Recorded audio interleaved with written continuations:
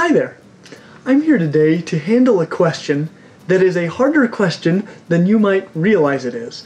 And that is, what is the difference between a turtle and a tortoise? I think a lot of people think that they know the answer to this question, but what I have discovered recently is that very few people that think they know the answer to this question actually know the answer to this question. And and that can partially be illustrated by the fact that I have here two shelled reptiles. And they look very much alike and they live very similarly, but only one of them is actually a tortoise. And so understanding the real differences between tortoises and other turtles is maybe not as straightforward as you think. I want to start off by saying that all shelled reptiles, so any reptile with a shell like this that can like tuck its limbs inside of its rib cage, which is a weird thing to be able to do. No, no other creatures can do this. Any reptile that can do this is a turtle. Unless, of course, you only consider sea turtles to be turtles. In that case, they're all chelonians or they're all testudines, or you can use these other words. I'm going to use the word turtle, okay?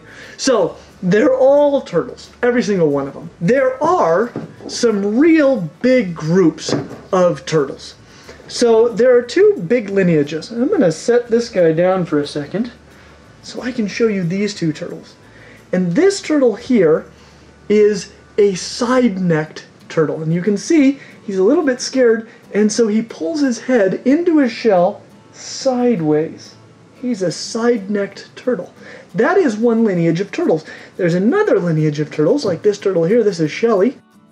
And they're called the hidden neck turtles. And you see, when she gets scared, she pulls her head back in straight, and her neck is hidden. Whereas with the side neck turtle, I can still see his neck because it's tucked off to the side.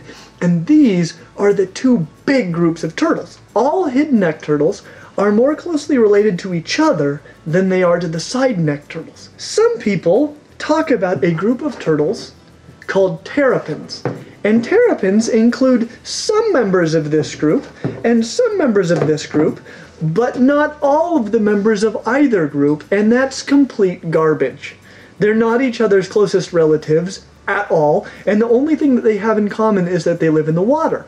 And the problem with building a group that is total garbage and it's not based on how they're related to each other is we don't know anything else about them. If you know that it's a terrapin, all you know about it is that it's a turtle that lives in the water at the end. That's all you know. But if you know how they're related to each other, you know all kinds of cool things about them. These two turtles, and it's not that shocking because they look fairly similar, but there are members of this group that look a lot more like that turtle than they do like these turtles.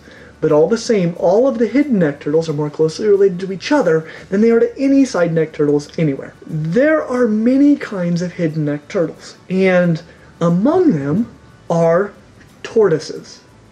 Okay, so not all the hidden neck turtles are tortoises, but some of them are. And tortoises are a unique group.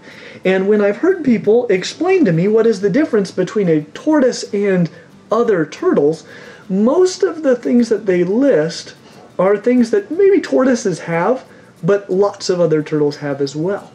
So I want to share with you a couple of things that are actually unique to this tortoise group that will actually help you determine which of these two turtles is a real tortoise. One thing is they've got this kind of tortoise face. They've got this kind of short, oval shaped head, and all tortoises have that.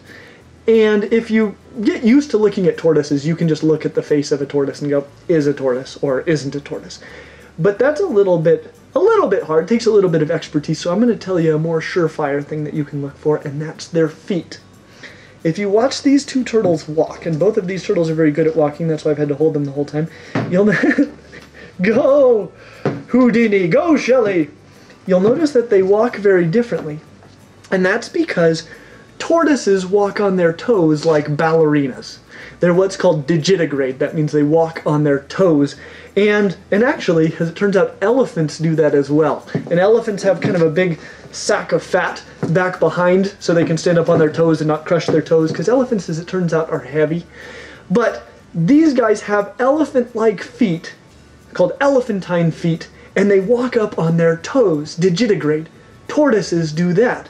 Other turtles are going to walk down on their whole feet, not up on their toes. And when you walk down on your feet like that, that's called plantigrade. And so, if they have these digitigrade elephant like feet, that is a tortoise. If it doesn't, it's still a turtle. They're all turtles, but it's not a tortoise. All right? So that's the thing. That's the most important thing. If you want to know the difference between a tortoise and a turtle, if you want to tell, is this a tortoise or a turtle? Look at the feet. And now you know. As always, like and subscribe, and I hope to see you real soon. I need the clacker though. No, you're gonna have to go without. Clack! Oh, God.